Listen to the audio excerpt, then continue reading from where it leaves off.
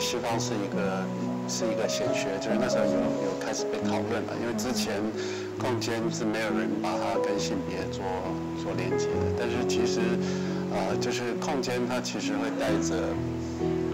空间本身是一个权利啊，就我怎么设计，你就时常被控制，你必须按它使用。那这个呃这个权利是在谁的手里？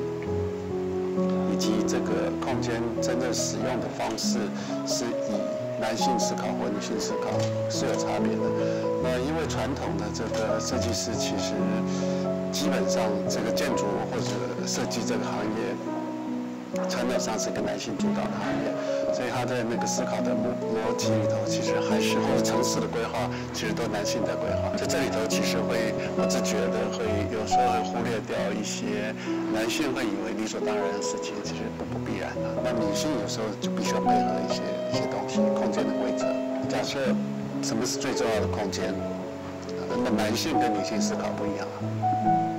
女性可能认为。呃餐厅跟厨房是最重要的，男性可能是认为客厅跟他跟外面连接的空间是最重要的，所以你的安排上次序上就会不一样。对于大部分男性在主导空间呃都市的时候，他是会以效率为主，对他会认为如何把一个都市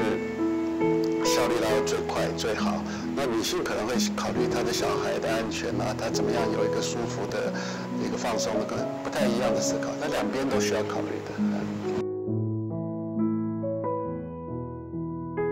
其实这是跟使用者的个性呃有相大的关系，但是如果我们今天用空间的大方向规划来看的话，人这个使用者其实他呃不分男女下，他是有一定的就是说呃。相同度，比如说呃空间的尺度啦、动线或者是法规的部分。那如果我们今天是从呃空间的视觉来探讨的话，这的确会有不同。那因为我呃就是事务所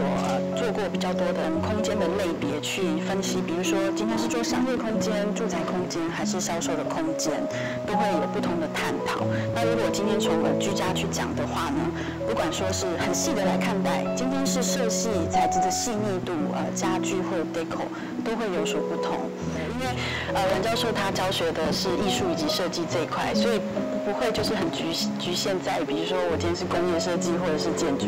所以我觉得在这个底子之下，我们把一些基础打好，所以他们如果在网上呃呃就是研究做呃研究生的话，可以再细想自己想要走的路，我觉得这个很很很棒。